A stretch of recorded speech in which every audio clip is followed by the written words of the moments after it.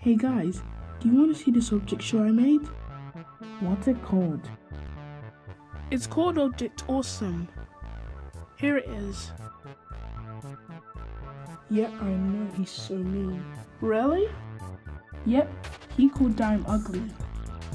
Oh my god, Dime, you're so ugly. Now I'm not! I think we're gonna stop there.